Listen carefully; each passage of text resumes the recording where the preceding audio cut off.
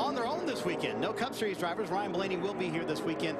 Having a little bit of an issue here at the Kentucky Speedway moments ago, DJ. Actually, this is Ryan Sieg first.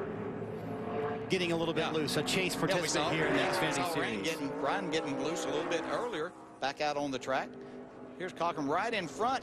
That, that just looks strange. I know he got Day on November 19th, battling for the Xfinity Series championship trophy. One of those guys battling will be Ryan Sieg. So, and, and the philosophy is a little bit different too. You know, you go over the Sprint Cup Series side, they say, hey, you got to finish top eight in that first round. Over here, they say, you know, maybe top 10, top 12, and you're okay to get to round round number two. Yeah, and we're all going to learn, just as the teams and drivers are going to learn exactly what it's going to take. But it's a learning process for them, too. Yeah, you can make the comparisons uh, as far as the Sprint Cup Series and what has happened there, but this is going to be totally different. Somebody's going to make it through probably into that round of eight that we weren't expecting just because they didn't shoot themselves in the foot anywhere. The, the biggest thing here is any gamble that you may take, especially in this first round, the, the opportunity to gain a lot of points or to put yourself in a position to win has to has to far outweigh any loss that you may have. You don't want to put yourself in a position of losing uh, a number of points just to try to make a gain of a couple of spots. So uh, those will be things that the drivers and crew chiefs will have to work out.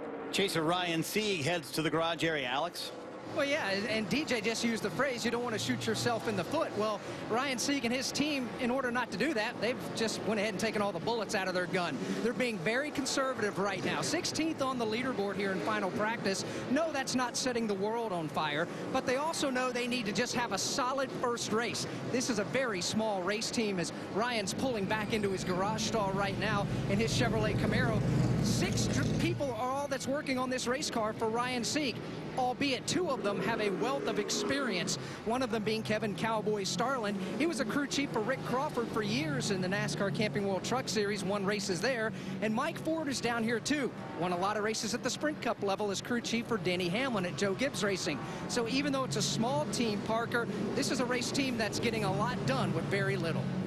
Well, Alex, take that away from him, but it, it closes things back up. Now we've got 12 drivers that have that opportunity that before we didn't have that. Here's another, Ryan Sieg He's got sponsorship on this car. A lot of that is because of this chase format and the opportunity that he's had to get on TV and talk, and we talked about him battling to get inside that top 12. So it's great to see, and again, it's bringing more dollars to these race teams, and in particular, race teams like this that are family organizations that really appreciate that and, and need these dollars, which when they get the dollars, it only makes them better and more competitive. And, and you know that from, from building your own race team at one point, even a little bit of money goes a long way for an organization like this. Yeah, and they do everything there you talk about. I mean, Ryan Sieg, he's not only the driver, he works on these cars, and that's needed, and you have to do that. And that's the way that I learned about my race cars, was put in that situation where that's what I had to do, work on them, build them, fix them when I crashed them, and, and so that makes you a better driver, better competitor. But the more dollars that they can bring into this race team is only going to help them be more competitive, and it's great to see.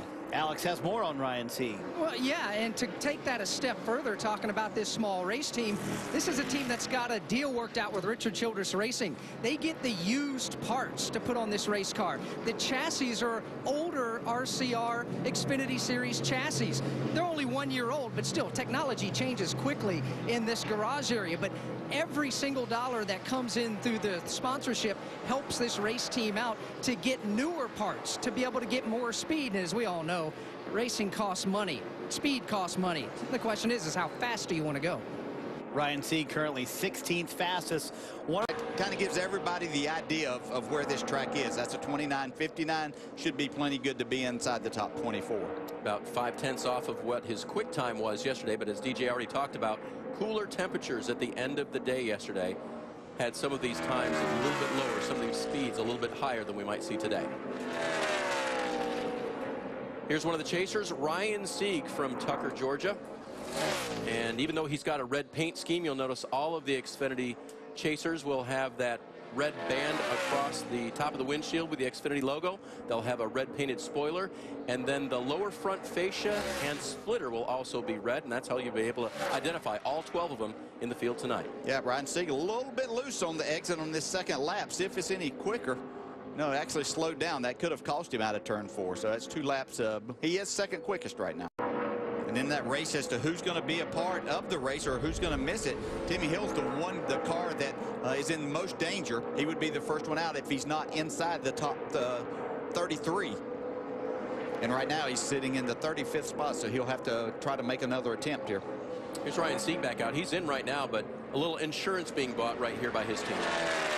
Well, probably working on the car, maybe realizing that the tires, it's not going to affect them as much, and, just work on it and see if they can make the car a little bit better for the second round. Also, to see if they could get a little further up in the, the running order, and they did that.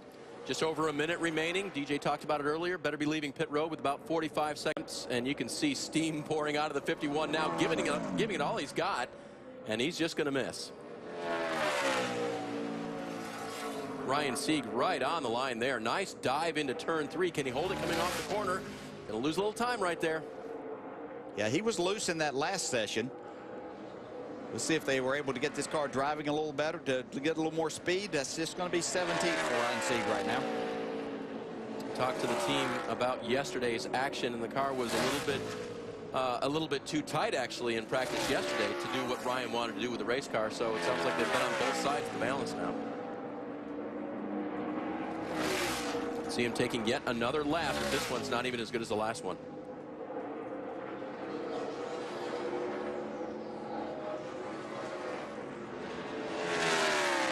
It's not going to be fast enough. Drops back.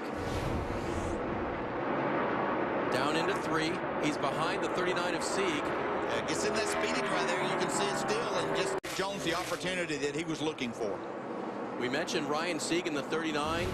Resumed the race in the 10th position. This is what happened to him a couple of laps ago, and he is back to 18th.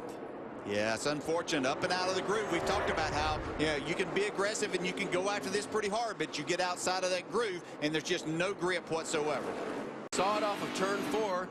39 of Ryan Sieg is around. And that right front looks down. Don't know if it was a result of the spin or if that's what sent it around. Yeah, right. Yeah, you see the right rear tire there flapping. So that's uh, tire has actually come apart. It looks like. I don't know if he's run over something, cut it, or if it was you know, from probably from the damage. There's what cut that right rear tire. Uh, he's also going to get a penalty because he was outside the cone. Probably the least of their problems right now uh, as he entered pit road. Got to be inside that orange cone down there before you can access pit road. You can see the damage to the right side there from the hit to the wall. Likely the cause of, uh, of that, DJ. Yeah, just pushed it in. You can see exactly where it, it cut that tire. You see, he was actually trying to get to pit road. He was down on the apron trying to make it, and the car got away from him. He spun right here. Able to get it righted. NASCAR's thrown the caution at this time. See the lights come on. And then he was on the outside of the cone as he entered pit road. Way out of the groove, the 39 of Sieg. He collects it. Teammate Matt Tifft with a very fast 18 car, and Ryan Sieg in the 39. Yep. And Tifft trying to stay on that lead lap. He had that penalty for the restart violation that, that he incurred. Had to make this safe for everyone. Looks like maybe Ryan Sieg will get the, the free pass and get back on the, the lead lap also. Uh, that's what I was just curious about. And there he is in the position. First car not scored on the lead lap will be awarded a lap to go around, a free pass, if you will. And as uh, someone once coined, I believe it was our friend Wally Dallenbach, that guy's a lucky dog.